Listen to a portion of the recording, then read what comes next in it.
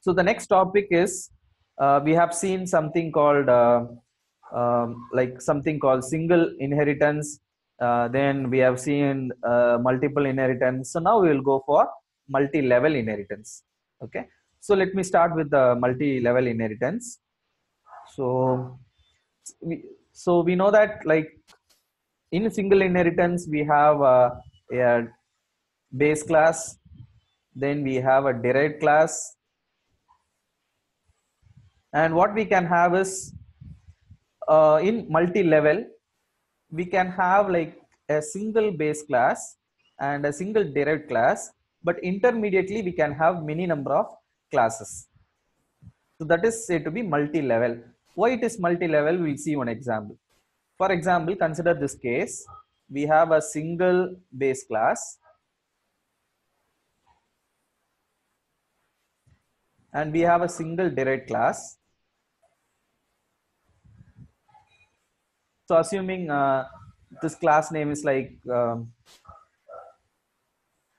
so this class name is uh, grandfather like that.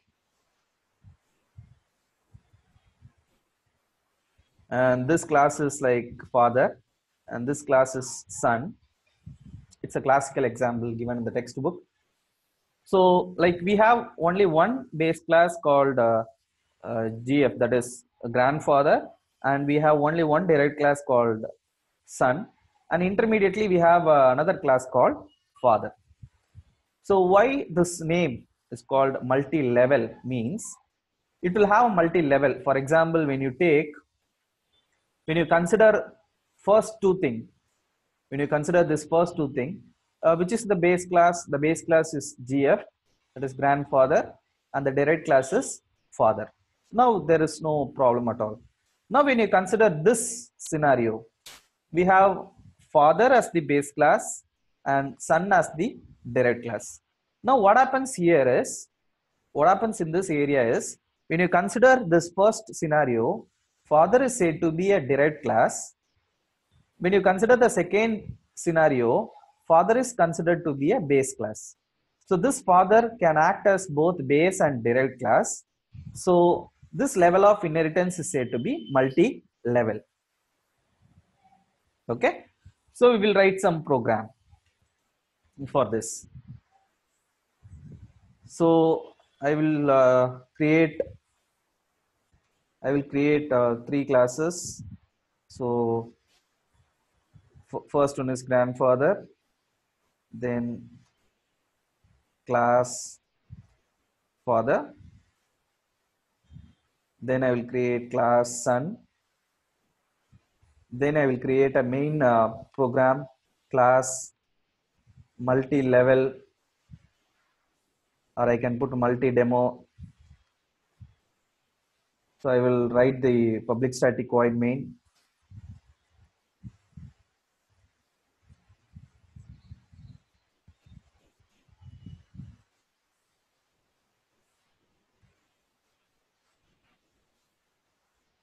So I will create some logic here. For example, void get detail of f, get detail of gf.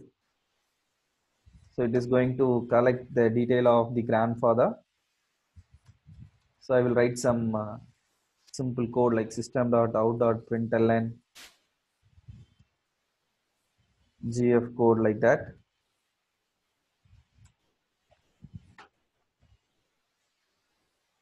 so i will do it for uh, the f also like get f then I will do it for son also.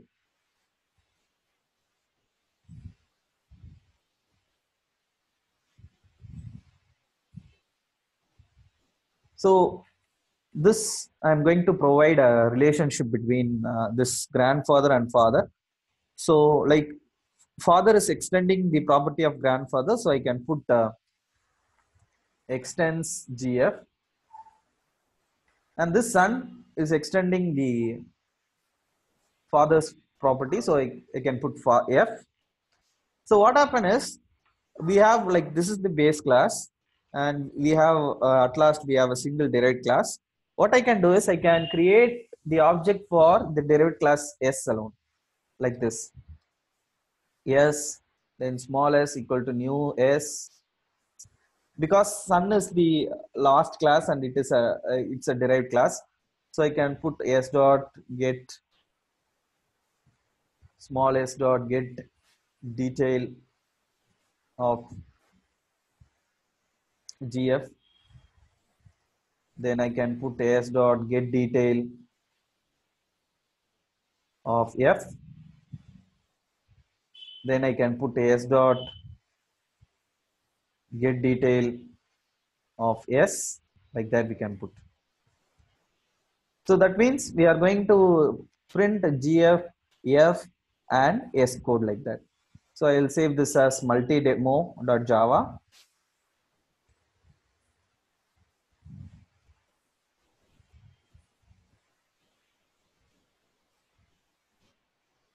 so i'm going to compile it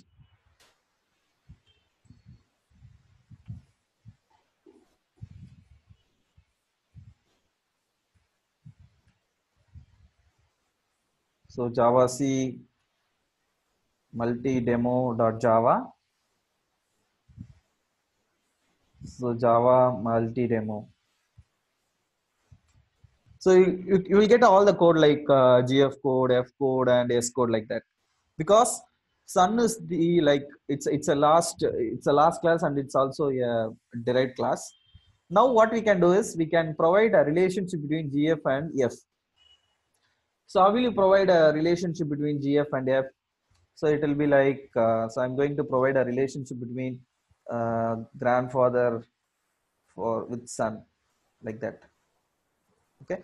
So to do that, I will create an object for F. F, F is equal to new F. So I can, with this I can, since this f is said to be a derived class now. I can take only this get detail gf and get detail f. I can't able to get uh, get detail of s because uh, now f is the derived class. So f dot get detail and f dot get detail of f okay? Now we can provide like another relationship like uh, we can provide a relationship between father and son. So what I will do is I will create an object say s ss because already this object small s is given. So I will I will use new thing so new s. Now I can what I can do is since like uh, s is the derived class okay and uh, it will extend it will extend the property of f. And you, you know this f is already extending the property of gf so you can in in s you can get all the values like this.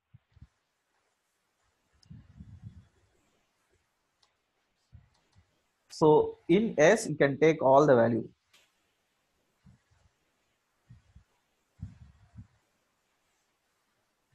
Okay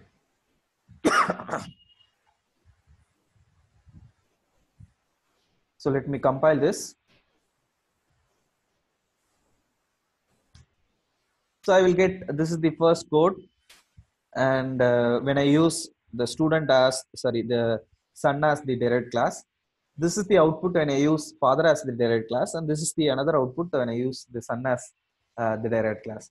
So using this, we can come to know there is a property in which uh, the multiple inheritance can uh, accept if a tends to B, comma, B tends to C, then we can say that A tends to C.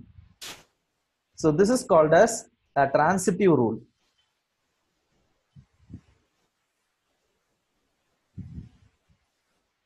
So you know that uh, this assume this as A and F as B and S as C. So this is A tends to B and B tends to C so that A can also tends to C. That means the complete kind of uh, uh, inheritance is possible with the help of this multi-level inheritance. Okay, so this is called as multi-level inheritance. In multi-level inheritance, we have like a single base class and single direct class but intermediately we can have any number of derived class for example here uh, f is the intermediate uh, class the reason why it is intermediate class is consider when you take a first scenario the f is said to be a derived class. And when you consider the second scenario this uh, f is considered to be a base class. Now f takes like both base and direct class functionalities. So this type of inheritance is called as multi-level inheritance